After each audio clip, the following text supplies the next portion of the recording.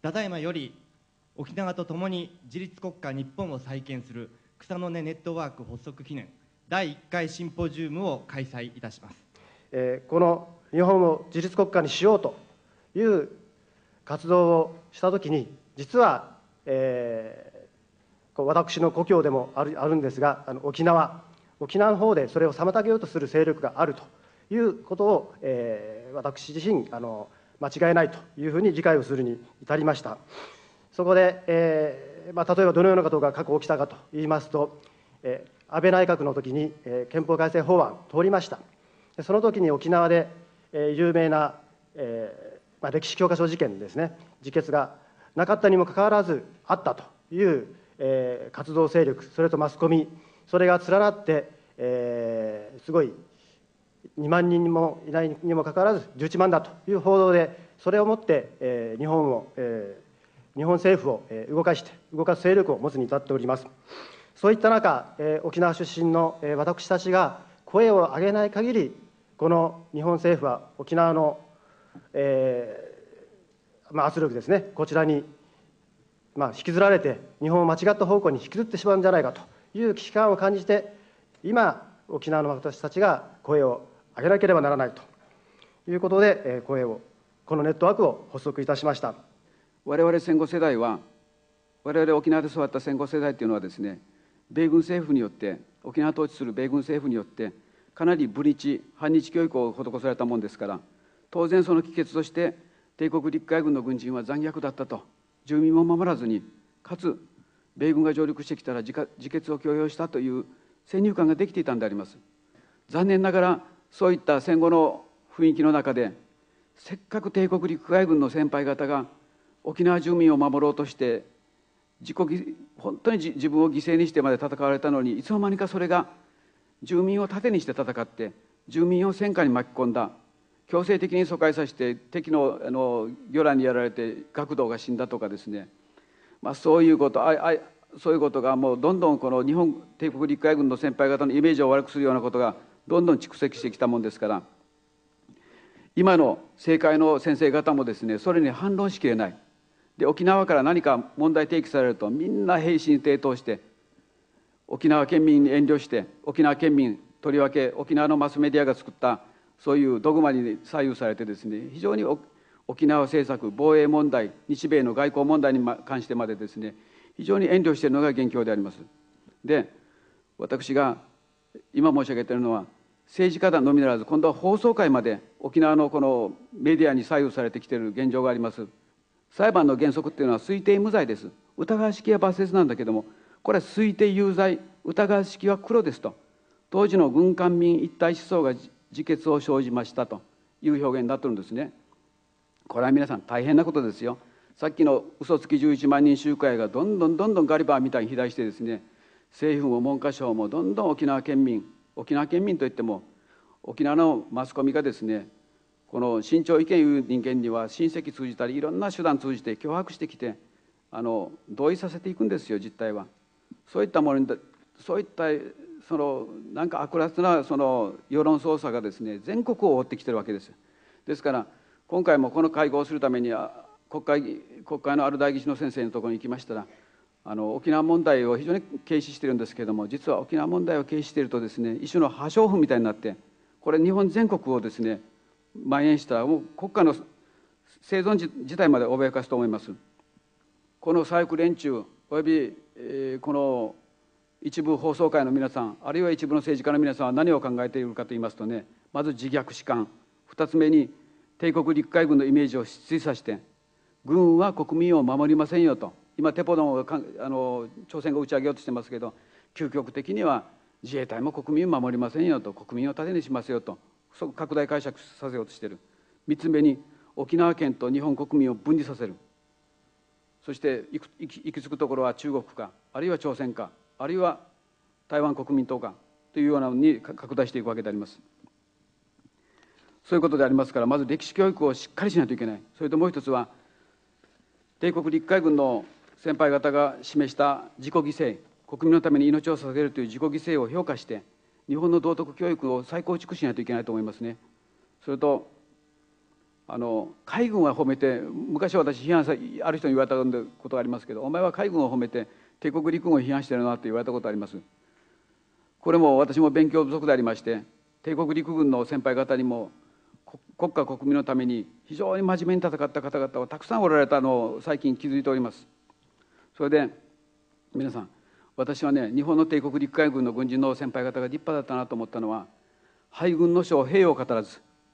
敗戦の責任を問われてどんなにあの罵声を浴びせられても黙って死んでいかれた戦後その一例が端的な例が先ほどこの式典の直前にやりました DVD の工藤俊作中佐であります。あれだけ決死の覚悟で敵兵を救助したのに一言も言わずに戦後死んでいかれた。黙って。で日本人も知らんかった。それを助けられたイギリス側から偉大な日本日本海軍の軍人がいた武士道精神だったって言われてはっと気づいてそれから調べていくといろんな事例があるんですね。ですから司馬太郎で司馬太郎先生でもあの伊藤清徳先生でも明治の軍人は良かった。昭和の軍人は武士道の発露も一切見当たらなかったという批判してるんだけども彼らははっきり言うと勉強不足であるしあるいは帝国陸海軍の先輩方が黙して語らず黙って死んでいかれたということをですね理解できない。むしろ本当は戦後帝国陸海軍の軍人の先輩方も弁明すべきだったなと思っております。あとこの沖縄問題を決して皆さんあの放置しないようにお願いします。この沖縄のマスコミっていうのは絶えず沖縄県民を焚きつけてテンションを高くして例えば昨年の10月に、えー、アメリカの海兵隊が駐屯する金町金町の基地の近くにあるある民民家のガレージの中にある車のナンバープレートにどうもミサイルの破片あミサイルじゃなかった、えー、M30 ライフルのなんかこう弾痕みたいな破片みたいなものがあったように大きく新聞に書いたんですね。それでまた基地被害だと煽ったわけです。と米軍が調査したらまずそういったあの流れ弾の兆候はありえないっていう結論ともう一つですよ。ミサイルみたいに直線で飛ぶライフルの弾がこう迂回してきて人のガレージに入ってナンバープレートに突き刺さりますか？誰が常識的に考えてもありえない。ところが沖縄市もそれをこう煽って煽ってですねまた基地被害だってあうあうで基地撤去とあぐそしたら日本政府はあかわいそうということで金で解決しようとするから。その負の連鎖なんですね。もう一つ事例を言うと今から5年前にそのキャンプハンセンの近くにあの畑がありました。パイナップル畑。そこにまたミサイルの弾頭みたいなのがこう突き刺さってるもんだから垂直に。これまた流れ弾だって言ったわけですけども。それもミサイルみたいにこう飛んできてこう飛んでまっすぐ突き刺さるはずはありませんしですね。それで沖縄県警が調べたら線状痕がない。線状痕がないということは撃たれた形跡はないわけです。ところが沖縄のマスコミは沖縄県警はひどいと。あの事実は事実だとまた焚きつけていくわけです。それに日本共産党がまた後ろからバックアップしてくるという状況でありますから。ですから皆さん沖縄問題を放置してた命取りなるということであります。で最後にじゃあ沖縄戦であれだけの被害をを生じて一体どうなんだと一般の国民の皆さんも考えると思いますけどね。私の叔母も沖縄戦で戦死して今も家は大事にあの安置されてます。20代前半の若さで戦死したもんですからもう美目臭で私の母は亡くなったけどおばは相変わらず20代の美をたたえてあの仏壇で私を微笑んでいつも見てくれてるんです。でおばの戦死もどうなったんだろうかなと思って考えてみますとねこれは私はこういうことだと思うんですね。まず今度の戦争で回路宣言で無条件降伏言われたところが沖縄戦であれだけの反撃をした。しかも米軍は沖縄出身の工作員を使ってあるいはサイパンで降伏した日本兵の居直り兵士を工作して沖縄住民と軍を分離しようとした。でも当時の沖縄沖縄県民は立派でした。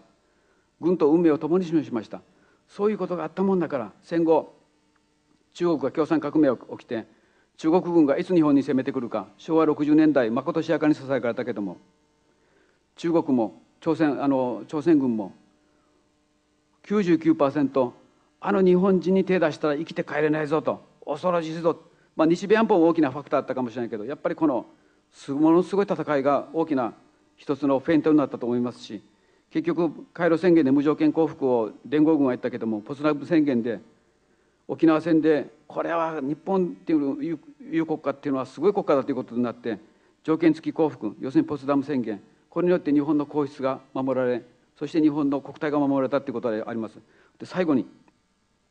私は今度の大東亜戦争はですねイギリス行ってもアメリカ行っても議論していて感じることは避けられなかったと思います。それはどうしてか。日露戦争で日本海軍が圧勝した時にもうアメリカは対日戦争の準備にかかっていたしイギリスも、えー、中国アジアを支配するためには日本はもう目の上の単行部になってきた。そしてワシントン海軍軍縮条約ロンドン軍縮条約で日本の海軍の軍備をどんどん制限加えてきた。で致命傷はここだと思いますね。あの結論は。1919年の1月にパリ講和会議で人種平等宣言というのを我が国の全権が発表した時にアメリカはまず激怒しましたですね。そして1924年5月に米国で排日移民法が制定されます。これは私何度も言いますけれども排日移民法の根底というのは日本人だけは白人同等の待遇を与えるというあの不分立なあのいう、まあ、要するに条約あの協定をですね矛にすることであったんです。そしてそういうことがあって結局先端を開かずを得なかったと思いますでその結果そのこれはやっぱり私は英霊に感謝すべきだと思ってるんですけどその日本国民および沖縄県民があれだけ戦った結果ですねやはりアジア太平洋地域の、えー、地図は大きく変えられ植民主義が解体しですねそして1945年 6, 月6月に国連憲章で初めて人種平等宣言が出されたということでありますからこれは大きな人類の歴史の中で大きなエポックだったと思っています。それで今後は沖縄政策もさることながら外国に行った時に決してエクスキューズミーと謝らないことですね。我が先輩方は堂々と戦ったと。堂々と振る舞ってこそ敬意を表されると思います。